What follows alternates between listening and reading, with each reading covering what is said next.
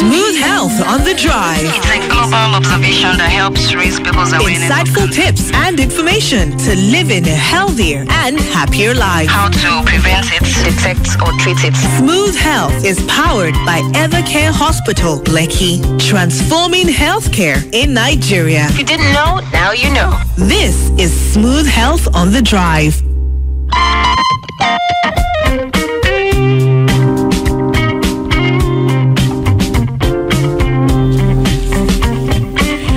Smooth 98.1, love music, love life. It's a beautiful day today. It's the 10th day in the month of March. It's time for Smooth Health. And of course, today we're going to be talking about herbs and spices. We're going to be talking about their benefits and, you know, the benefits generally in preventing elevated blood cholesterol and, yes, hyperglycemia. I know that sounds like a mouthful. We'll talk all about that in a few more minutes. And we're going to open the phone line so you can be a part of our conversation. Okay, today on the show, we'll be talking, like I mentioned, about herbs and spices. And joining us on the show, uh, ready and equipped to answer all your questions and share also insights on today's topic is uh, Chioma Nwankwo. She's a dietitian at Evercare Hospital. Hello, hello. Good afternoon. Hi. All right. So Chioma Nwankwo is a registered nutritionist uh, dietitian who works as a clinical dietitian at Evercare Hospital, Lekki. Uh, she holds a higher diploma in animal health and production, a BSc in human nutrition and dietetics, both from the University of Nigeria. Chioma believes that adequate nutrition is the primary key to optimal health and it plays a key role in the prevention of chronic diseases. She's organized nutrition education for mothers and infants as well as young children and um, feeding practices as well as managing patients with chronic illnesses such as hypertension, diabetes, kidney disease, and more. She's a member of the Dietitians Association of Nigeria, DAN, and a member of the Nutrition Society of Nigeria, as well as the International Confederation of Dietetics Association. Chioma, welcome and thank you so much for coming. Thank you for having me. Thank you so much for being here. Uh, as always, listeners, you are welcome to be part of our conversation. You can reach out to us on the numbers, which is 0809 444 0981. That's our WhatsApp number. Or you can call live in our studio. The number is 0144 89981. We're giving our first three texters or callers vouchers courtesy Evercare Hospital. Okay, so it's uh, uh, your first uh, voucher basically for your co- first consultation at Evercare Hospital. So let's just uh, dive right into it, Chioma. Let's talk about the basics, okay? All right. So when some persons hear the words herbs and spices, you know, they think of, you know, seasoning cubes, you know, but amongst other things, really, wh- what is it all about? All right. Herbs and spices. Okay. Herbs and spices they are natural from plants. Okay. Okay, so it can be the plant bark, it can be the seeds, it can be the flower, and then these herbs and spices they have phenolic compounds. That- phenolic compounds? Yes, they what are just phenolic basically compounds? they have this phenolic compound. They help a antioxidant properties. Okay. So anti-inflammatory properties. So mm. these antioxidants they help to remove oxidative stress. So those are herbs and spices. We have several of them. It's not bouillon cube or all those other ones they market. We have like cinnamon that is natural. We have like sage, oregano. You see them. These ones are from plant mm. life. Can be All dry right. or fresh. So, what exactly are functional foods? Because that's a term that actually does come up quite a bit, right? Yes. Okay, functional food. Okay, herb is an example of functional food. These are food that offer other benefit, health benefit, aside their nutritional value. So they have this positive, potential positive effect on health benefit. They have this positive potential mm. potential positive effects on the health benefit aside their nutritional value. So when you say functional food, mm. when you say functional food, we are looking at some phytochemicals, some active ingredients in food that target on at body functions. You know, maybe metabolism of glucose, helping in uptake of glucose, or some other thing. There's several, but because we are talking about hypertension, hyperglycemia, and uh, elevated cholesterol, so that's why I'm just All right. So, basically, functional foods are those foods that basically play a vital function. yes. Aside their nutritional value, they go beyond, extend Right. beyond. Okay. Awesome, awesome. Like we mentioned, you can call us if you've got a question for our dietitian in the studio today, 0144899981. So you've broken down you know, what functional foods are. And we've also talked about, you know, what herbs and spices are, right? Mm-hmm. Now, I would like to know what are the roles of herbs and spices in health? Now, you know, you talked about how, you know, they help in, well, I mean, we're going to talk about how they're helping with cholesterol. But then again, what are essentially are their roles? All right. Herbs and spices, mainly we use it to color our food, flavor, aroma. That's what we know. Mm-hmm. That's what I know. okay, but there, aside that, it has phytochemicals. Okay, take cinnamon for example. There's a polymer compound that it has that mimics insulin, imitates it, so it helps the uptake of glucose into the cell. So you won't have much glucose running in your blood, hmm. thereby having elevated blood glucose. Sometimes you may have blood glucose elevated even when you're not diabetic. So, but if you're taking something, some um, herbs like that cinnamon, so you're covered. We're not saying you shouldn't go to hospital when you have these issues. No, we're saying that prevention is better than cure. Okay. Okay, good. So these are the roles. So we have the antioxidant properties, the anti-carcinogenic. We have like turmeric that have curcumin, which helps in and is more of anti-inflammatory. And you know that cancer, like we said, carcinogenic is Right. like inflammation, so it helps. And then some other properties like anti-atherosclerotic. That's just like hardening of uh, cholesterol on the walls of your artery. So this turmeric helps too.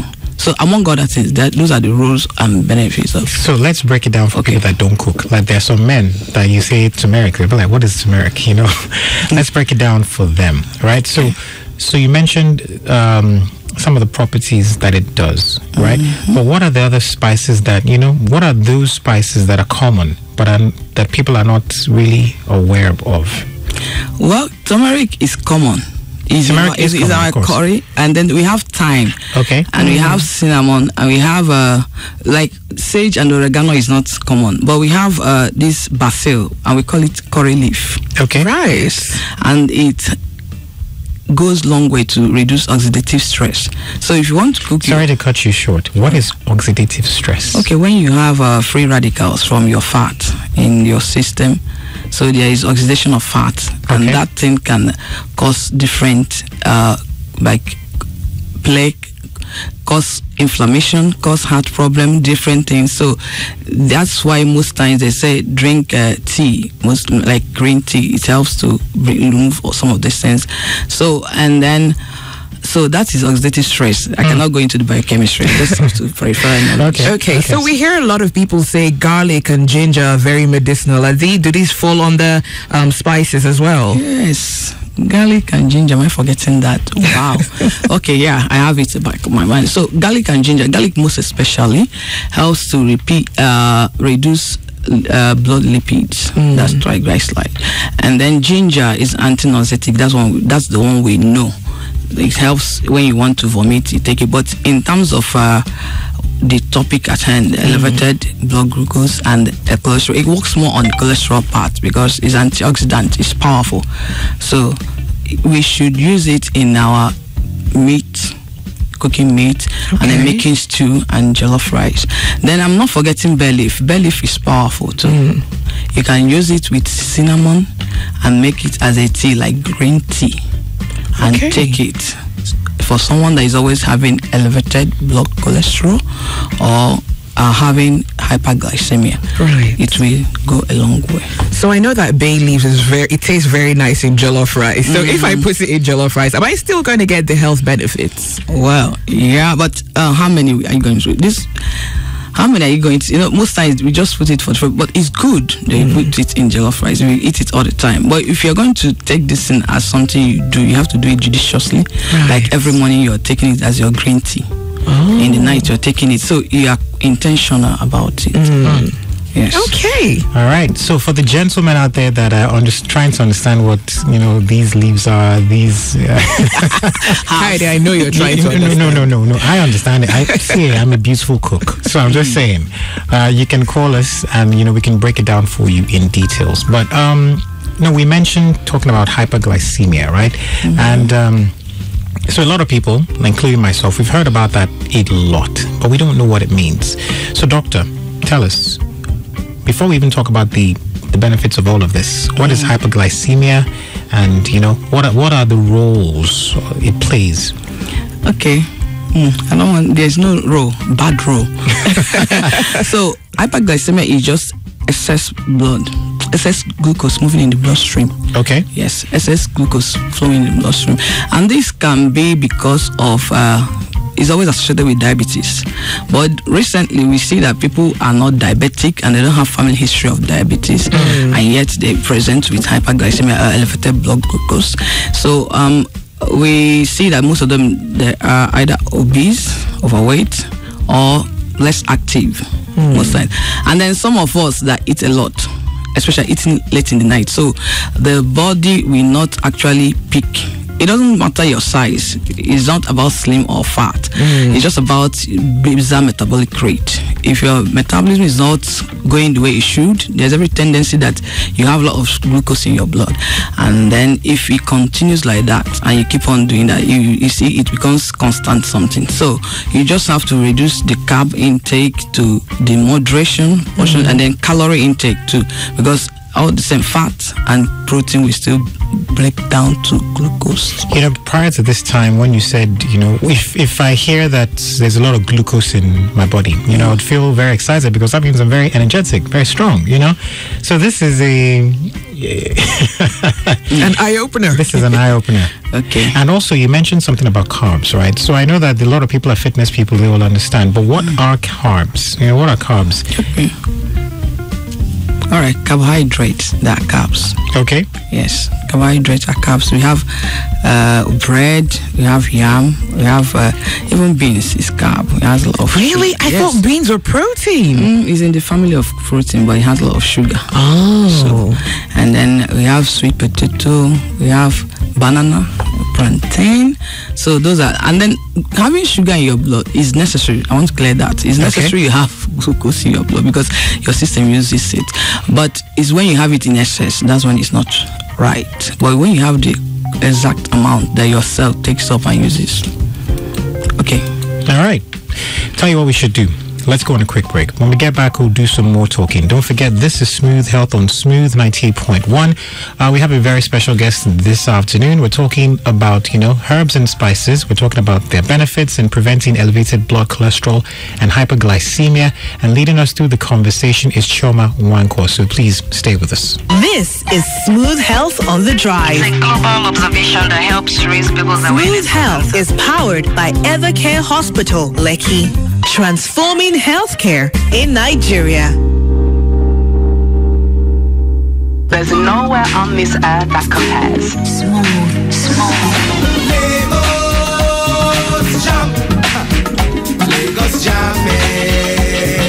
Hey guys, my name is Rachel Kerr, and let me tell you about my Lagos. There's nowhere on this earth that compares. From mainland to island to the roadside suya, there's nothing like that. And of course, the sweltering heat from morning till evening. Now in my Lagos, nothing compares to the weddings. Nothing compares to our parties. But one thing I will say is there's nothing like reaching your land of Lagos. My Lagos, your Lagos. Lagos This is Smooth Health on the Drive. It's a global observation that helps raise people's Smooth awareness. Health is powered by Evercare Hospital, Lekki, transforming healthcare in Nigeria.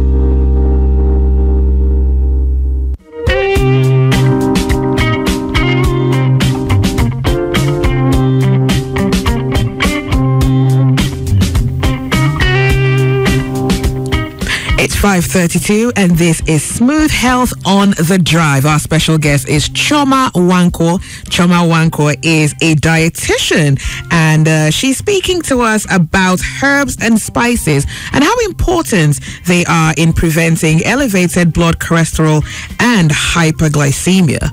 So, uh, Chioma, when you hear hypergly- hyperglycemia, it just kind of scares you because you're hyper and it means high, doesn't it?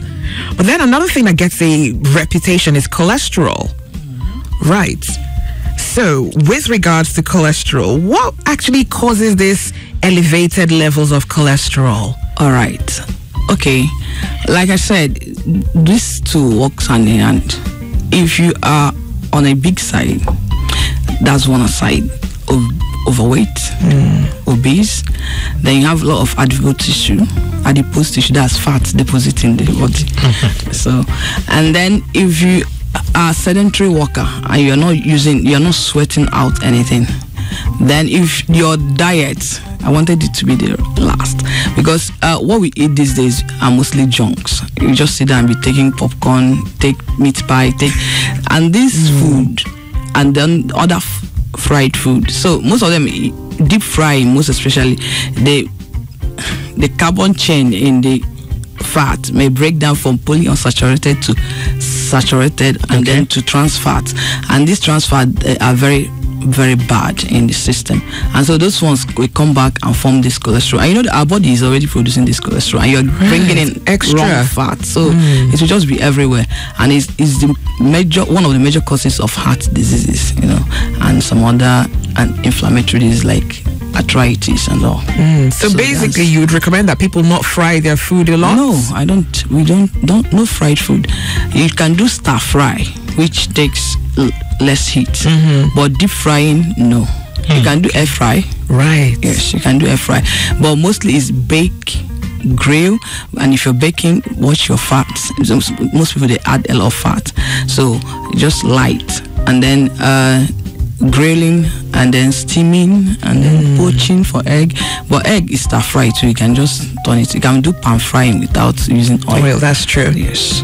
And then you can boil down your stew, that's tomato, and then add oil. That's the best, healthiest way to eat all this oil than doing shit. A lot of oil. Okay. Wow, that's a, that's a, that's another eye opener because you know there are a lot of Nigerians that will just uh, just park your car and say, you know, madam. Mm-hmm. Yeah, there's so much things that's fried. that And there is we a place for monosodium glutamate too, like all this food we buy outside. Okay. A lot of bouillon cubes, as we said, can actually cause all these things. You know, when we are looking at hypertension, because elevated cholesterol can lead to hypertension. Okay. So we try to like limit or reduce the salt and the bouillon cube, and all these things are the cause of elevated cholesterol. All right. Okay. Uh, we see we uh, some messages up on our WhatsApp platform. We're going to attend to those messages, but don't forget 0809 444 0981 is where you can send your messages to.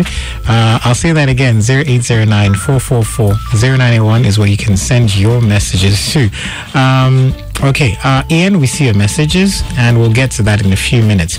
That said, though, uh, let's talk about uh, you know, benefits of herbs and spices, especially when it pertains to cholesterol and hyperglycemia. Now, let's bear in mind, um, some people, some people um, are not familiar with some of these. Uh, so, doctor, please always break it down. Okay. All right. So, um, but I'll still have to talk about some of them, like wide. So, now, if you are for health purposes, if you want to cook, we advise you reduce your salt and maggi. How do you do that? Rosemary has uh, this property of looking like uh, testing like salt, sort of. So, if you can bring in rosemary and uh, ginger and garlic and turmeric and blend it and use it to cook, it will help you to be able to reduce your salt and maggi. And then what are these benefits of this? Okay, now let's talk about cinnamon. I've told you cinnamon before. In terms of blood glucose, it has a polymer, a compound, compound in it that helps to imitate insulin. So in the sense that it helps, it stimulates the uptake of glucose into the cell. So what we are saying is that it helps to reduce fasting blood sugar. Okay. Uh-huh. So, and then we have garlic that helps to reduce blood lipids like triglyceride and then low density lipoprotein which is the bad uh, cholesterol and then it helps to increase the high density level protein. is the bad is the good cholesterol Uh-huh. Let's So- circle back a little bit. I want to I want to understand the lipids you mentioned. Uh, Okay. The bad lipids. Yes. That what you mentioned? What are they? Okay, it's just low density. It has low, so it floats. It's just like the density is not much, so it's, it can move around. And we have the low density lipoprotein, and we have the very low density. But the only good one is high density lipoprotein. What does this mean? What does this do? Uh, well, the higher density lipoprotein helps to bring down the low density lipoprotein. There. so the low density lipoproteins are not absorbed by the body; they just float around. Oh, Yeah, but it's when it's too much that it's, it becomes uh, bad, too bad. So we, it, it- it sh- there should be a proportion. There, there's a range which I cannot say now that it should be in the system. And then uh, we have zobo leaf because we're talking about herbs too. Yes. zobo leaf. Uh, so you can boil zobo and then add cinnamon to it if you're diabetic or if you're experiencing elevated blood glucose or this uh, hyper, okay, elevated uh, blood cholesterol. So if you're experiencing any of these things that I mentioned, you can boil your zobo with uh, cinnamon, then you can drink it cold. I want to, so this one helps to reduce both uh, cholesterol and then blood glucose. Then be- cinnamon and bay leaf. Bay leaf that we use to cook jollof rice. Okay. You can boil it as hot tea and drink. It helps the heart. It's for cardio. I'm just giving each of them. So Okay, and yes. the way you can combine them. Okay. Then turmeric, which is very powerful, both anti-carcinogenic, antioxidant, and anti-inflammatory. It can, but it works synergistically with black pepper. That's it works. To, the black pepper makes it to be more absorbable. Okay. Uh, so, uh, so you can use the two of them as tea. So you can add it in your tea. If you're someone that drinks green tea, you can just drop your turmeric and add the black pepper in it, or you can just make it as tea. So it helps. Then cayenne pepper, all these are shown, but you can we let's eat it more. It helps a lot. It's anti-inflammatory. We know that pepper has uh, and it helps in neuropathy. It- in fact, it helps in the if you're having complications of diabetes and you're having neuropathy. Neuropathy is nerve pain. Okay. Yes, so cayenne pepper can help too. Cloves can help too. Turmeric can help in pain management. Okay, now you know you've called a lot of these herbs, but for some people it might not be things they're familiar with. Are these things that you can just walk into a market and you call cloves or basil, and you can easily find them in a market? Yeah, if you if you walk into market, you can call instead of saying basil leaf, you say curry leaf. That's what we know. yeah. Okay. Then turmeric is everywhere. Okay. Turmeric, they sell it everywhere. Ginger is everywhere. Garlic, I've spoken about it, is everywhere. Then rosemary, I said about it. If you want to reduce your salt, it helps. You can make it so it's everywhere. Once you just add thyme, and then the bay leaf, we know it. We use it to cook our Nigerian jollof. So that's why I use uh, these ones. That they, we have fenugreek. I would have, but we don't read that. But it is powerful. Fenugreek helps to uh, reduce the digestion of carbohydrates and calories. So by the time you it do- does not digest on time, it helps to lower blood the influx of sugar in the blood. So that's uh, the work of fenugreek. But because it's not just something that is everywhere, so Right. I didn't mention it. Flaxseed. Flaxseed is anti-inflammatory, so you can chew it. Okay. There are several functional food and herbs and fibers to mention, but a few. So these ones are the one. But I, I know the uh, easy one: garlic, ginger, rosemary, uh, zobo leaf. We see everywhere. Bay leaf. Um, and then thyme, then curry leaf, that's the basil leaf, and cinnamon. Please, cinnamon is very necessary.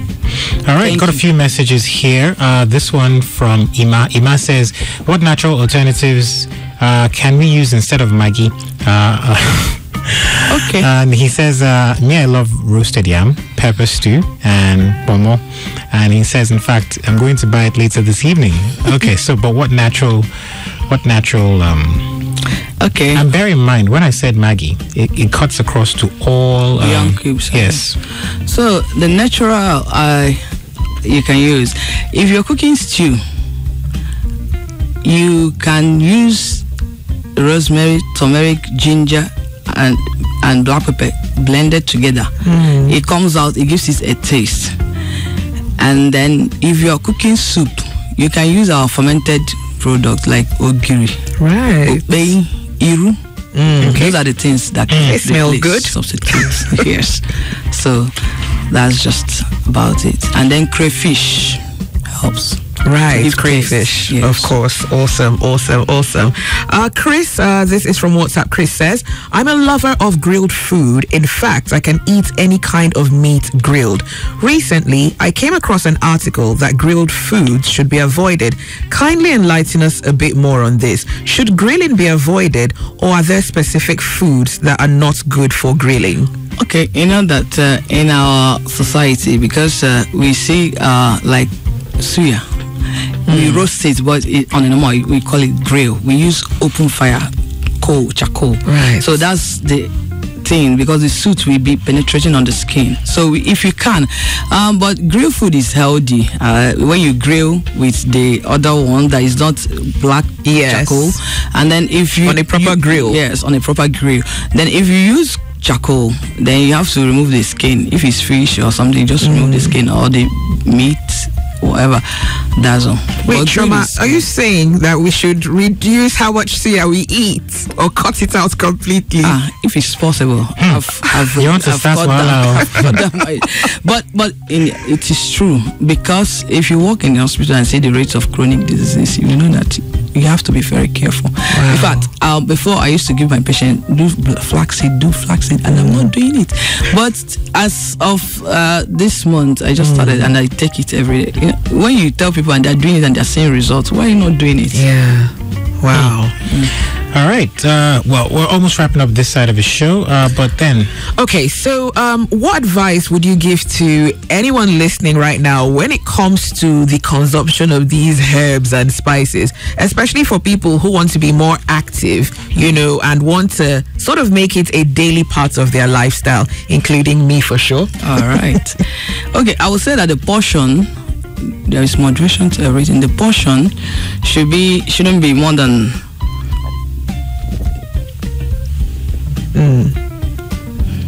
shouldn't be more shouldn't be more than half a teaspoon from half a teaspoon to one one quarter. You cannot pass two if you're taking at a time. That's Okay. the portion for any spice. That's if it's Daily? powder. Yeah, if you i- that's why I say routine. You just choose the one, pick the one that Okay. you can do and be doing it. And Be consistent with that. Yes.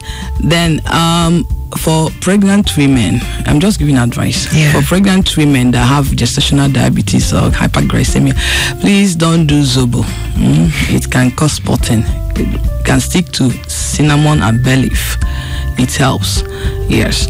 Then um, then please let us all go back to herbs and spices because we already used to all the ones they pack in uh, Yes. nylons. Can we do more of natural, natural, and uh, like all this one that you know that is the plant bark, the plant flower, and all that. You just mix it. If it's possible for you to stay in your house and mix maybe turmeric and that, it may not mix the way I did, but you can mix your own and then get your flavors and then use it to cook. So let's do that and help our system, our card, our heart, and our blood glucose. All right. Thank you so much. Uh, just before we let you leave, though, uh, I'm sure that the listeners out there would want to, you know, contact you at Evercare. So, how can the listeners out there contact you at uh, Evercare Hospital? And, uh, you know, tell us your address, you know, your website, everything that we should be aware of. All right, they can come to Evercare at number one Admiralty Way, so Bisola Durosinmi Drive. Don't mind me, I'm not Yoruba, but I'm trying. Le- You're good, you're good. Lekki Peninsula Scheme One, Okay. Lekki. That, so Lekki Phase One, number one Admiralty Way, and then our website is www.evercare.ng. Telephone is 081 39850710. I'll call it again 081 39850710. The email info at evercare.ng. Thank you so much. All right, thank you Thank so you much. very much. Once again, it's uh, number one Admiralty Way uh, f- uh, slash Bisola Durosinmi-Etti Drive, Lekki Peninsula Scheme 1. And also the website is www.evercare.ng. The telephone number is 081 And the email is info at evercare.ng. All right. Well, thank you very much, uh, Chioma Nwankwo, nutritionist, dietitian from Evercare Hospital. Thank you All right. for having me. Thank you so much. Lagos, there's more to come. This is the Smooth Drive on Smooth 98.1. It's Zibi and Kaide. Smooth health on the drive. It's a global observation that helps raise people's awareness. Every. Thursday at 5.15 p.m. If you didn't know, now you know. Powered by Evercare Hospital, Lekki. Transforming healthcare in Nigeria.